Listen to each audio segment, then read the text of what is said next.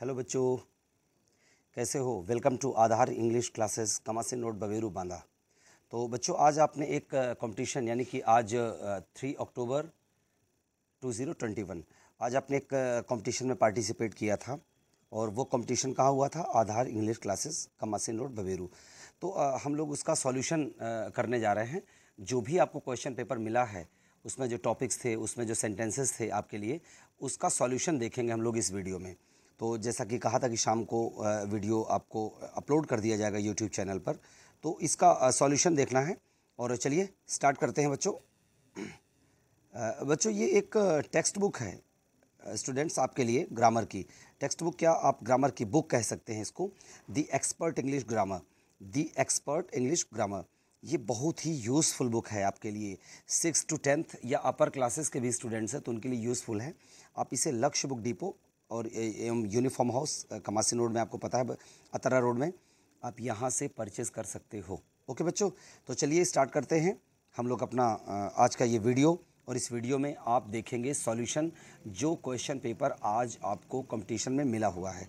Okay students ready first topic first topic था active से passive में चेंज करना था। आपको कुछ सेंटेंसेस दिए गए थे फाइव सेंटेंसेस थे यहाँ पर और आपको एक्टिव थे वो, उनको पैसिव में चेंज करना था। First sentence I know him आपको टेंस पता होगा तो आप उसको चेंज करेंगे।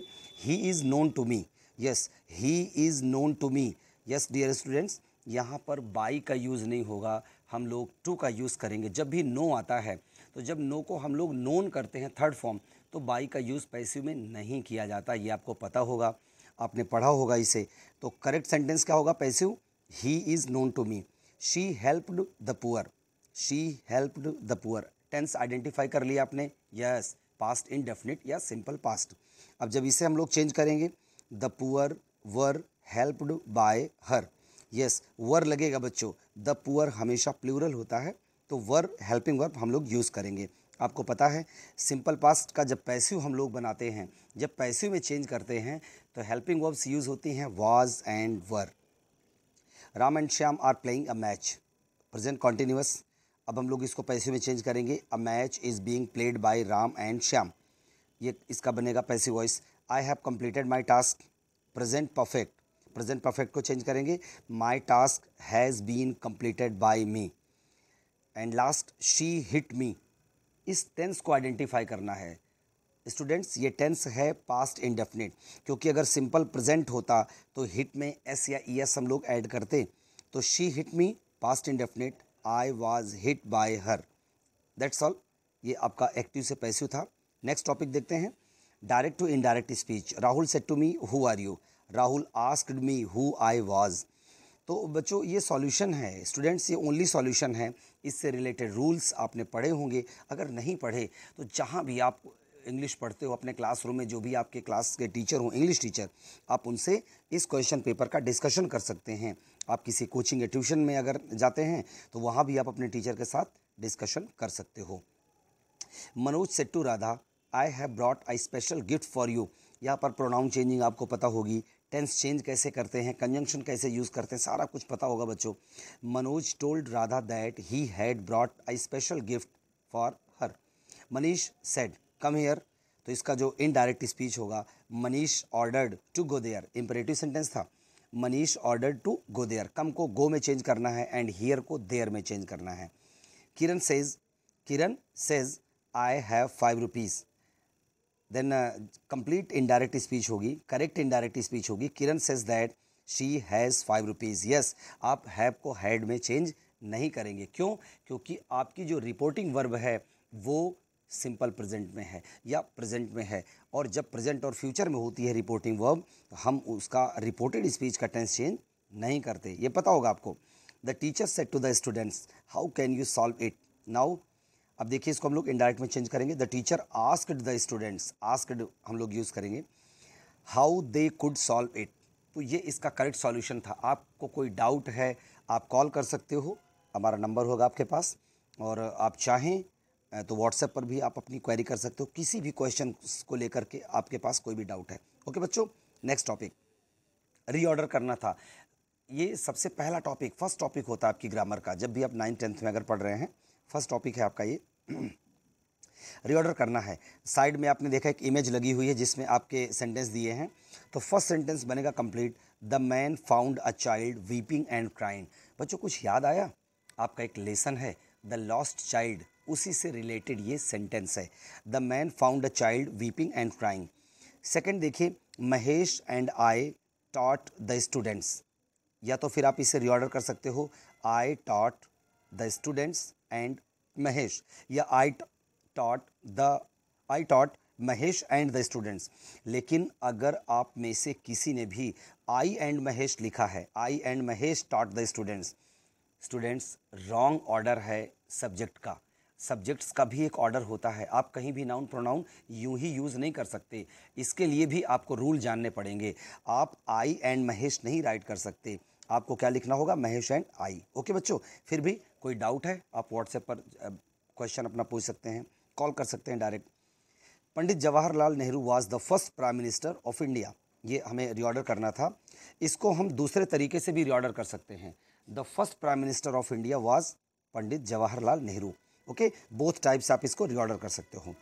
Four number plying on playing on the road is very dangerous playing on the road is very dangerous and last is Arun will not have completed this work by the evening बच्चों, अभी तक जो भी आपने topic किए उनमें आपको एक चीज़ बहुत अच्छे से पता लग गई होगी कि आपको टेंस का आइडेंटिफिकेशन बहुत अच्छे से आना चाहिए।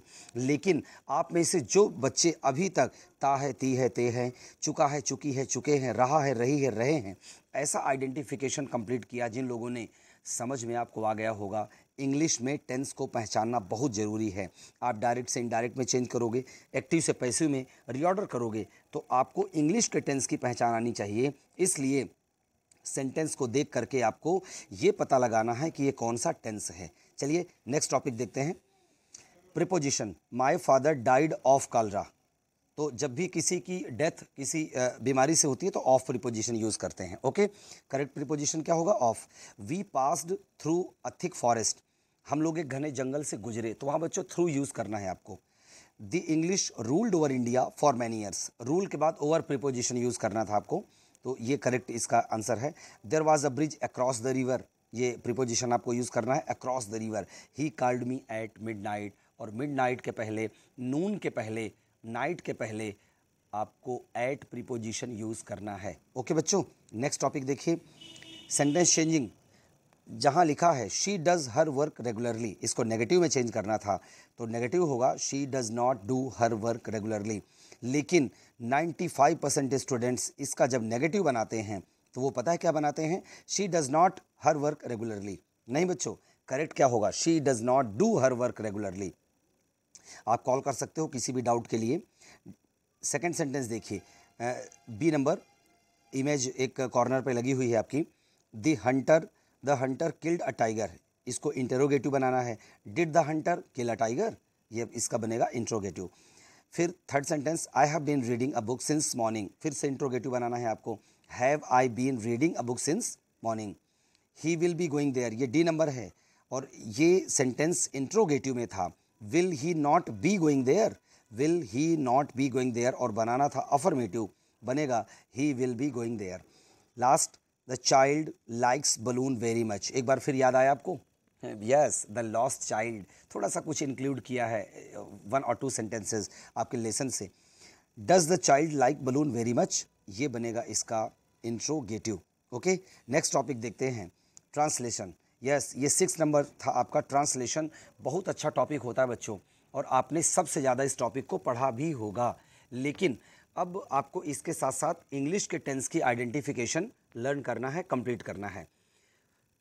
तुम्हें अंग्रेज़ी कौन पढ़ाता है? ट्रांसलेट करेंगे who teaches you English who teaches you English कोई हेल्पिंग वर्ब यूज़ नहीं होगी। मेरे दोस्त के पास समय नहीं है। My friend has no time not नहीं लगाना नो लगाना है। My friend has no time Manoj ने अपनी कक्षा में प्रवेश किया। मनोज एंटर्ड हिज क्लास अगर आपने इन लगा रखा है, अगर आपने इन टू लगा रखा है तो बच्चों एंटर्ड के बाद प्रिपोजिशन नहीं आता। ज़ीरो प्रिपोजिशन होता है। तो करेक्ट होगा, Manoj entered his class Margi school से नफरत करती थी। मार्गी हेटेड स्कूल ओके बच्चों, जैसे हेट के बाद हम लोग नहीं लगाते, कोई प्रिपोजिशन बोलते ना I hate you I hate from you नहीं, कि मैं तुमसे नफरत तो से का यहाँ पर कोई मीन्स नहीं है। Margi hated school how many books are there in your bag and last sentence था आपका, तुम्हारे बैग में कितनी किताबें हैं? तो बच्चों how many books are there in your bag ये कंप्लीट सॉल्यूशन था आपको। किसी भी तरह का डाउट है, आप कॉल कर सकते हो। और इसके बाद चाहे तो आप व्हाट्सएप पर। और बच्चों, मैं आपको बता दूँ लास्ट में कि Aadhar English classes ninth tenth eleven twelfth ये सारी क्लासेस अपने यहाँ रन करती हैं। ये मोबाइल नंबर है, कमासी नोट बबेरू में कोचिंग है अपनी। आप चाहें तो नाइन्थ का बैच ज्वाइन कर सकते हैं। अभी कल से भी एक बैच स्टार्ट होने वाला फोर्थ अक्टूबर से स्टार्ट होगा एक बैच आप ज्वाइन कीजिए और थोड़ा सा डिफरेंस समझिए।